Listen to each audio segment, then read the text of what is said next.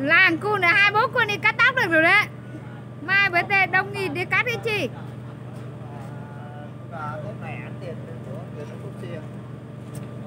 Anh lấy hết tiền á? Ồ lấy xe ăn đi. Anh đang làm ngoài đồng đó. Thấy bố thúng chắc là đi ra đồng vả phân. Ồ mà nuôi đến phân hôm qua lấy nhầm nết tiền phân chưa trả nữa thế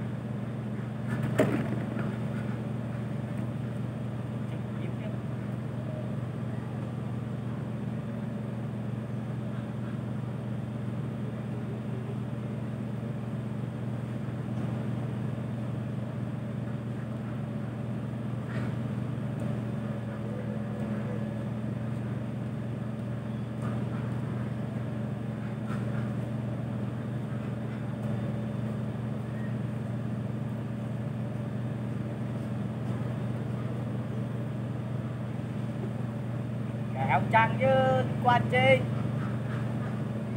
Gom gom mượn thằng tua lên tí. Ở đây sát cạo thì không nghe được chứ còn tí nữa tắt máy coi